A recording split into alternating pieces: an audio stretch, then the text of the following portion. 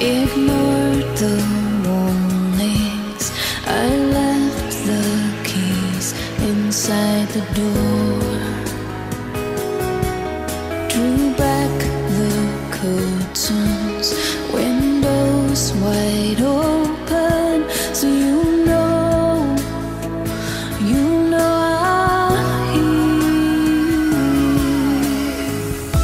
Bentrovati in questa puntata di Medical News.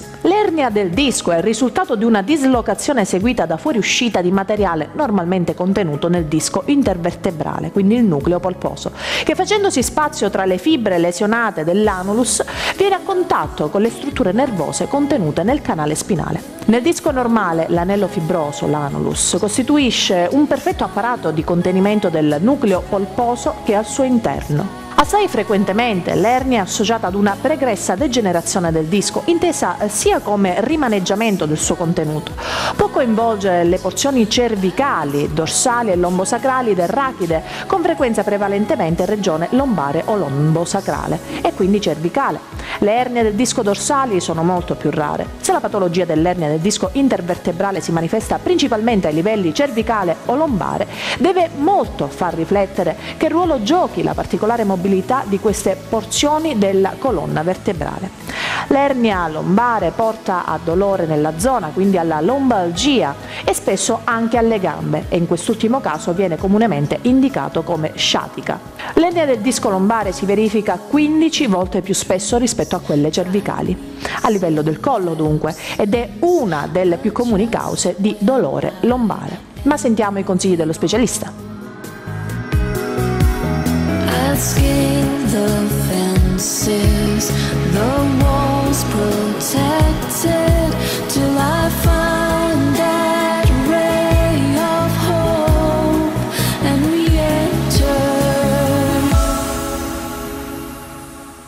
Bentrovati in questa nuova puntata eh, di Medical News. Qui con noi lo specialista il dottore Massimo Furnari, neurochirurgo, che oggi ci parlerà di un argomento molto diffuso, ossia di eh, ernia del disco lombare. Dottore, di che cosa si tratta?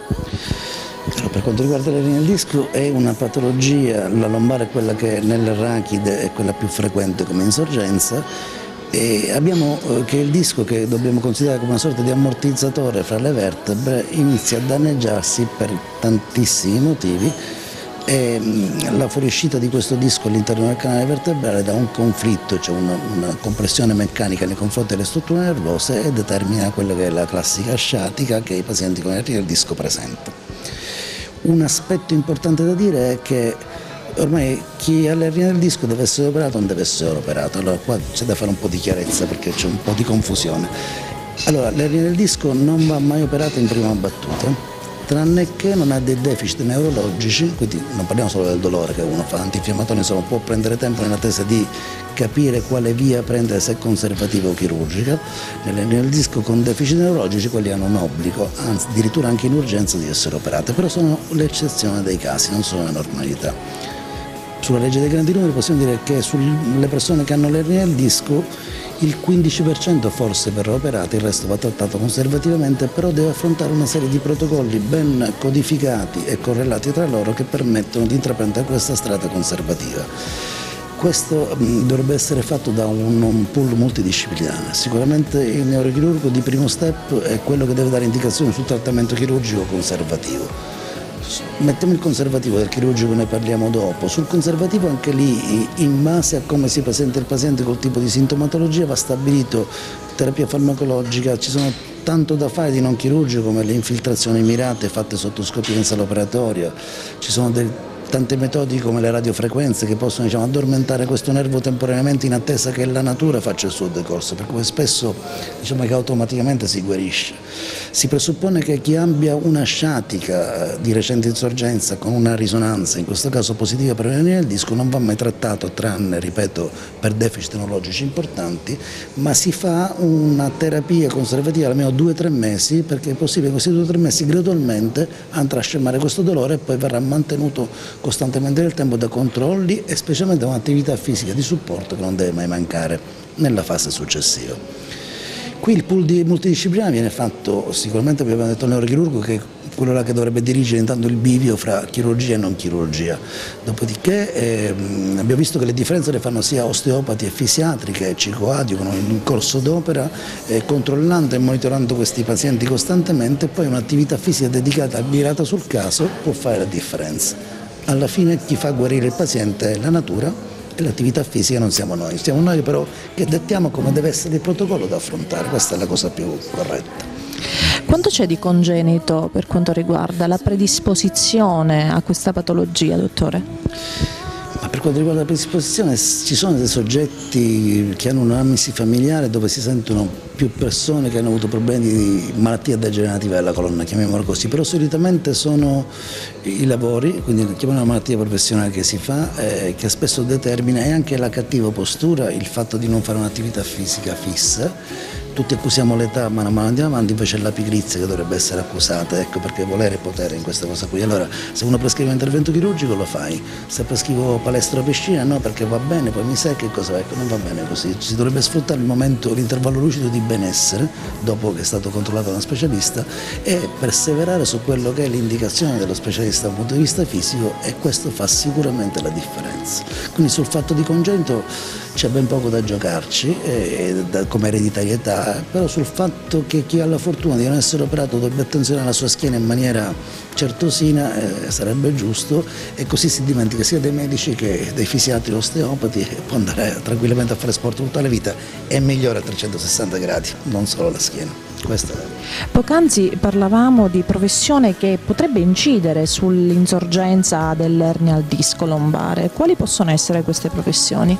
Certamente tutto ciò che determina carico meccanico del rachide lombosacrale in questo caso, quindi chi è soggetto a trasportare pesi o assume posture viziate per lunghe ore può procurare un danneggiamento del disco. Questo spesso si associa però a una muscolatura non idoneamente tonica eh, proporzionalmente all'età che avanza. Quindi mi spiego, chi fa anche un lavoro sedentario, un lavoro al computer, che sta col mouse messo buttato di lato a destra 10-12 ore al giorno per 10-20 anni, in palestra non ci va, mangia, piglia qualche chilo, la colonna si sovraccarica, è un po' come come se noi abbiamo una pila di sandwich con il viewster, più premiamo il panino più il viewster vuole uscire, più lo allentiamo più il viewster gioca, ecco il concetto è esattamente uguale, quindi più i muscoli sono duri stirano questa fisarmonica in estensione, più quello che c'è nel mezzo respira, corre il rischio meno di danneggiarsi e di andare in conflitto con le strutture nervose, sono quelle che poi danno i problemi neurologici o di dolore, a seconda in questo caso di sciatica, visto che siamo nell'ernia lombare. A che età può insorgere questa patologia? Diciamo per quanto riguarda l'ernia del disco vero proprio, perché poi ci sono tante altre malattie degenerative della colonna, eh, ormai non ha più età. Noi troviamo anche se rare, ernia del disco a 20 anni, parliamo di chirurgiche vere e proprie, poi la sciatalgia da curare eh, in maniera conservativa si trova ormai in tutte le età, specialmente nella fascia inferiore. Sì, parliamo di sciatica ovviamente, quindi un dolore radicolare del, del, del nervo sciatico per, per, per, capirci. Questo lo troviamo in una prima fascia d'età, insomma intorno a fine ai 50 anni, dai 25 ai 50 anni c'è una moltitudine di pazienti che ha questo sintomo. Ripeto però di questi qua l'80% circa anche di più non viene mai operata, ma deve essere seguita attentamente. Parlavamo di trattamento conservativo. Eh, a che età invece è possibile passare direttamente ad uno stadio chirurgico anziché quello conservativo? Eh, no, questa non è una regola, nel senso che il paziente presenta una sciatica, una sciatica, questa sciatica va analizzata per quale motivo si è determinata. Quindi da lì solitamente si fa una risonanza magnetica, prima un attacco, però diciamo, l'esame più completo ormai è sempre la risonanza magnetica, lì lo specialista decide in base a sintomi, come vi ho detto prima, e, e, immagini da correlare, devono essere congrue, mi spiego, cioè dobbiamo avere una presenza di una patologia discale che è congrua con la sciatica, col sintomo che si ha. Da qui si stabilisce il trattamento. Quindi due bivi abbiamo detto chirurgico conservativo. Ribadiamo il concetto, in assenza di deficit neurologici sicuramente si inizia con un trattamento conservativo.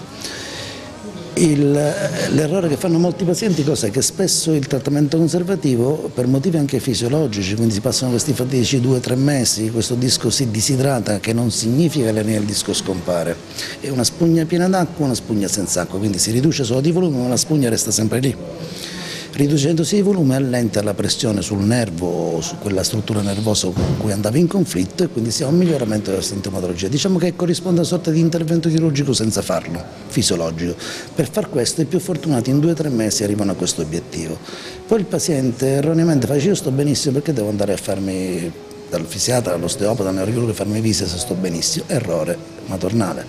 La pigrizia prevale, la predisposizione c'è la un'ernia, quindi è possibile la stessa ernia o aumento se determinano altre patologie discali e quindi prima o poi ci ritroviamo il paziente dopo due o tre anni che non abbiamo più visto, dice ma io stavo bene per carità, ma cosa hai fatto in questi anni? Ho mangiato, ho preso 20 kg, non ho fatto sport e sono di nuovo da neurochirurgo. Ecco.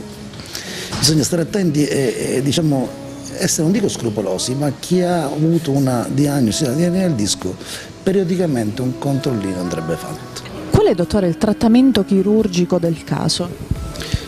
Per quanto riguarda l'ernia del disco lombare, allora attualmente il gold standard, a parte tutte le altre metodiche eh, diverse messe a punto è sempre la discectomia microchirurgica, sarebbe l'asportazione della parte di ernia, quindi l'erniectomia è un termine tecnico, quindi l'ernia che è protrusa e va in conflitto con le strutture nervose tramite microchirurgia, quindi al microscopio, sempre spazi e tagli ridottissimi rispetto alle vecchie tecniche del passato e in questo momento è quello che dà un 95% di possibilità di successo sempre nei pazienti che sono stati catalogati idonei al trattamento chirurgico, quindi vuoi a trattare un paziente chirurgicamente che non doveva essere operato, che anche operato dal miglior chirurgo del mondo non può andare bene in quanto non doveva essere sottoposto a chirurgia.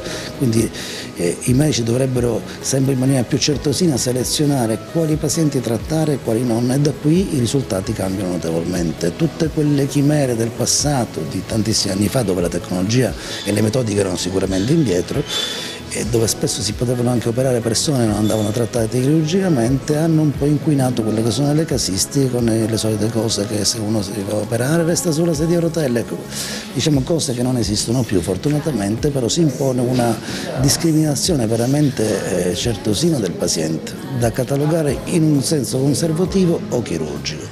Esistono tanti altri tipi di tecniche che però non danno dei risultati soddisfacenti, a parte per pochi casi selezionati, ecco dove la difficoltà volta. Ad esempio si parla di ozonoterapia, di laser, l'ernia col tubicino in endoscopia, ecco tecniche che sì possono essere valide però chi ne può beneficiare sono veramente pochi. Allora la difficoltà è estrapolare il paziente che può rispondere esattamente a questo tipo di, di trattamento chirurgico alternativo o mini invasivo.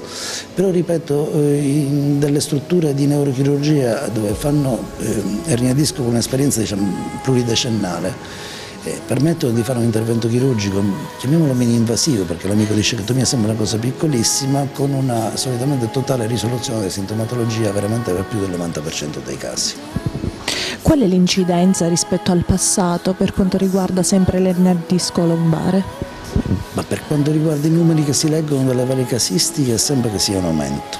Sembra sia in aumento probabilmente forse non so, i lavori pesanti si facevano anche prima, forse ancora prima, o forse perché siamo un po' più fasulli da un punto di vista biologico, nel senso che le cose vecchie erano migliori, come sempre noi siamo poi, no, ora a, parte la battuta, sì, è una patologia sempre costantemente si vede, diciamo che molti vizi di postura eh, inducono una sofferenza del disco, una patologia del disco che poi può diventare anche un'ernia del disco, ma sicuramente porta a dei sintomi che vanno dal neurochirurgo o dall'ortopedico o dal fisiatra osteopata per problemi o di lombalgia o di sciatica e se ne vedono un po' di più di prima. E molti accusano questi vizi di postura che ormai sempre più nei giovani vengono consolidati e mai sbloccati da nessuno, che probabilmente daranno anche loro una facilità di insorgenza in un disco predisposto a una patologia discale. La cura fisica è quella che vince comunque. Per quanto riguarda invece i bambini, far iniziare un'attività sportiva sin da piccoli può aiutare in futuro a mantenere più salda la struttura fisica, onde evitare magari e prevenire anche un po' per certi versi questa patologia? Sicuramente sì, però lì la, dovrebbe essere i pediatri a consigliare quale tipo di attività in base alle varietà dei bambini, certo per fare una struttura osteomuscolare idonea sicuramente riduce quello che è il rischio di degenerazione della colonna, però deve essere fatta a step nel senso a determinate età alcuni sport non possono essere fatti per motivi di crescita, quindi ci vorrebbe un qualcuno che esiste, il pediatra specialmente, che stabilisca la corretta sequenza di sport da intraprendere in base alle varietà, sicuro fa la differenza. Invece nella fase post-operatoria, dopo un intervento così delicato, eh, quali piccole regole deve seguire il paziente eh, che è stato sottoposto diciamo, a questo stress fisico? Allora, Considerate le tecniche mini-invasive, abbiamo parlato prima, eh, lo standard di un'ernia del disco è che una persona, una persona, con una sciatica idonea al trattamento chirurgico viene operata a 24 ore già in piedi, se non ci sono complicanze nella media in terza giornata è a casa contrariamente a tanti anni fa si stava un sacco di giorni a letto, busti di gesto, insomma c'erano tante cose che ormai non esistono più per fortuna. E quindi torna a casa asintomatico con un po' di dolore alla schiena per la ferita e nient'altro, l'osservazione per un mesetto di non portare pesi, non fare brusche flessioni, comunque ci sono dei fogli educativi che vengono consegnati alle divisioni che dicono quello che si può fare e non si può fare. Diciamo che un, un buon... Um, recupero muscolare post-chirurgico permette di riprendere la vita esattamente come prima. Ricordiamoci, i vari calciatori operati nel disco sono là che giocano in nazionale, quindi non è che l'intervento di ernia nel disco preclude a vita determinati sport o lavori. L'importante sempre lì è mantenere una struttura osteomuscolare adeguata che possa sostenere tutto l'apparato muscoloscheletrico. Concludiamo anche questa puntata di Medical News ringraziando il nostro neurochirurgo Massimo Furnari. Alla prossima!